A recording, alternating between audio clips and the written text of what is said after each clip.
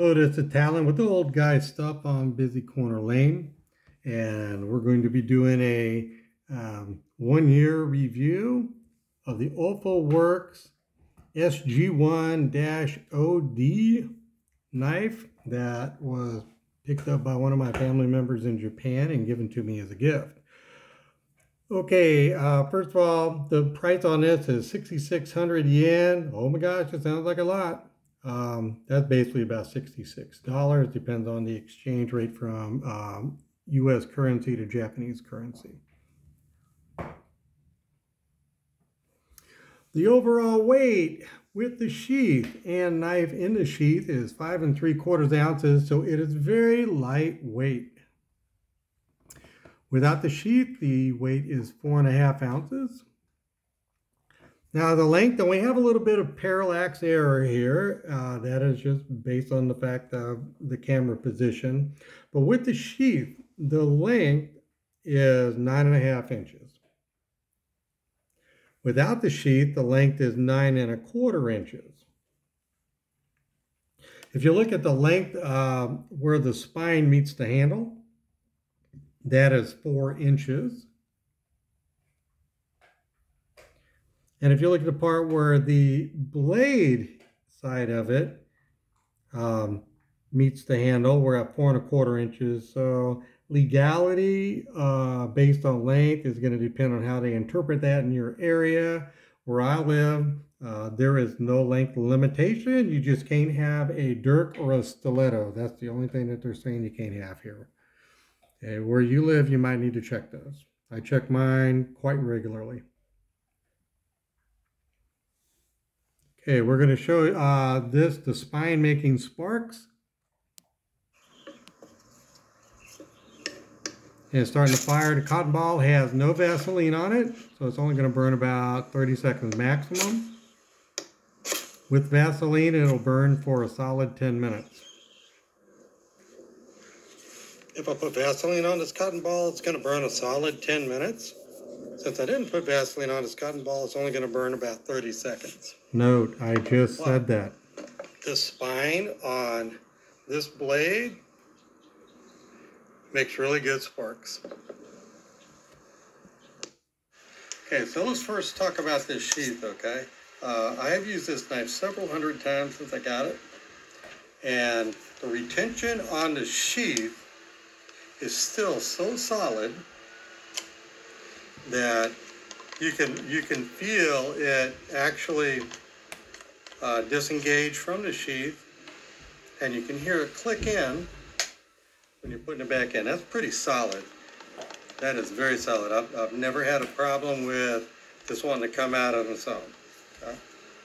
Now, I'm not going to tell you all the great things this knife can do. Seriously, I give this knife about a 9 out of 10. I mean, so usually skip to the end, you know, uh, I give it about a 9 out of 10.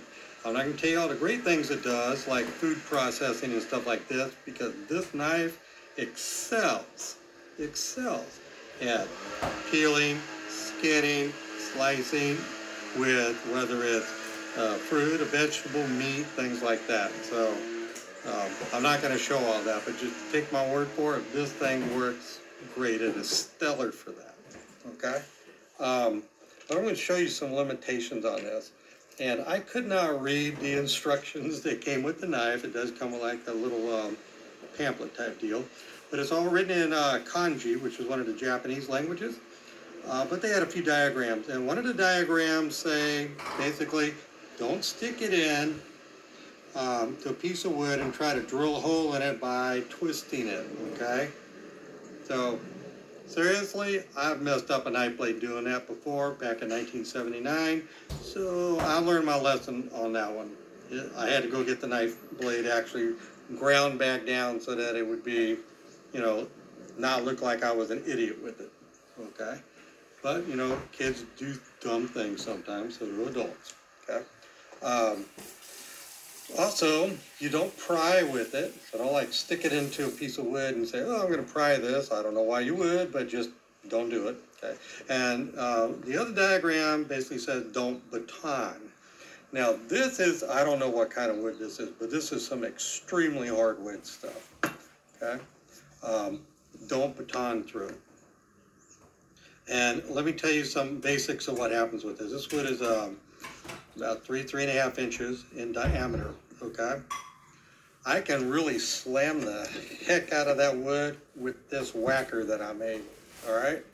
Um, but if I manage to get it this deep into the wood, where I'm not actually able to hit the spine anymore, and I didn't destroy the knife in the process of doing it, now the only place I can hit this knife is gonna be up here on the tip, which is never a good idea, in my opinion, or in the handle, and I don't think it's a good idea either. Okay, so if you gotta go through, uh, wood, especially a hardwood, uh, my recommendation, use an axe, okay?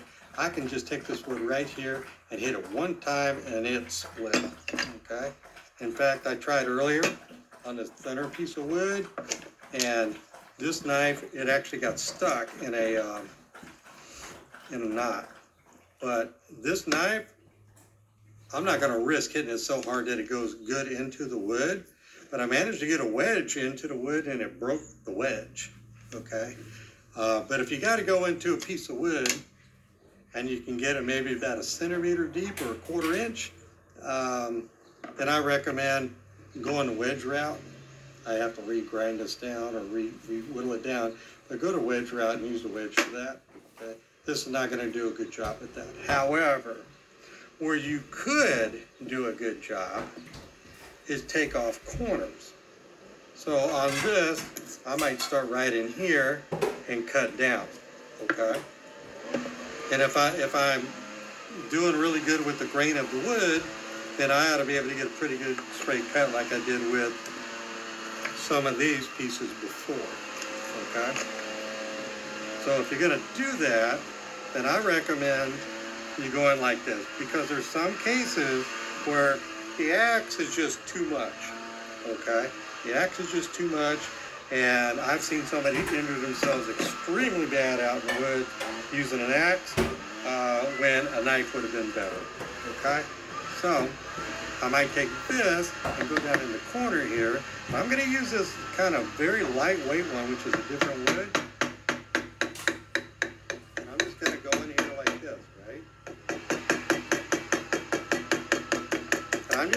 Thin pieces because maybe, just maybe, I want to have some small stuff to stick in to my fire right after it's starting up so that I can, you know, build the fire up, okay? But I would never want to take this knife and go through the middle of the wood because I'm probably going to damage the blade doing it, and I don't want to take that chance, okay? Always bring more than one blade with me, but if I break this and I've only got one more blade, then I've only got one blade with me, so, you know, I want to take care of my tools when I'm, when I'm out in the woods. Okay. Put this that side, this is back in my sheath. Got this aside. All right, so once I get down to something like this though, hey, feather sticks and fuzz sticks are really easy. In fact, I did some on this one a little while ago, just playing around.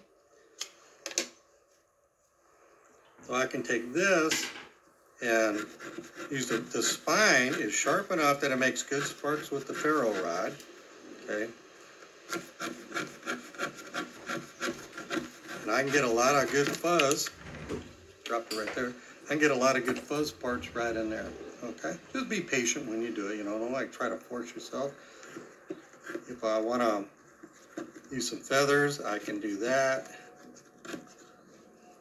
But if I'm at this point right here and it's this thin, I may want to just do this.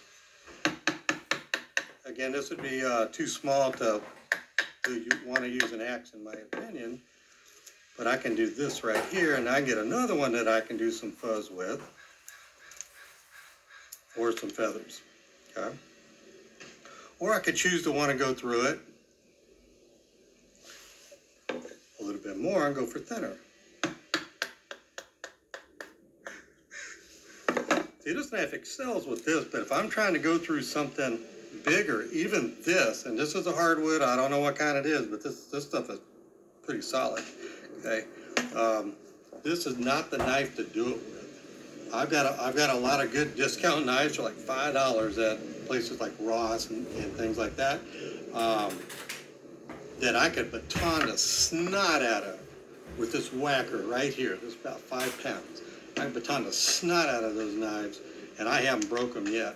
But this blade is about half the thickness of the others, so you don't want to take that chance. You really don't want to take that chance. Now, overall, like I said, I would give this blade, this knife, a nine out of ten. Okay, a nine out of ten.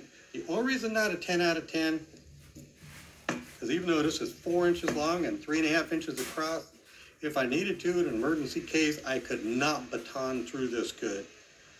This knife, I've done it before, will get stuck once it gets this deep, and it is hard as heck to get out. I had to take a saw and cut through it about right in here, which was a pain in the behind. And then at that point, I'm able to just push it down and get it out of the wood. But once it gets like this, in a wood like this, um, this is so acute on the angle and the uh, and the smoothness of the blade that it becomes stuck. So that's why it's not a 10 out of a 10. Otherwise, this knife's a 10 out of 10. If you're gonna go food prep, hey, this is probably one of the best knives I've ever found for that. Um, there are some great knives for food prep, but this one's very solid in that in that regard.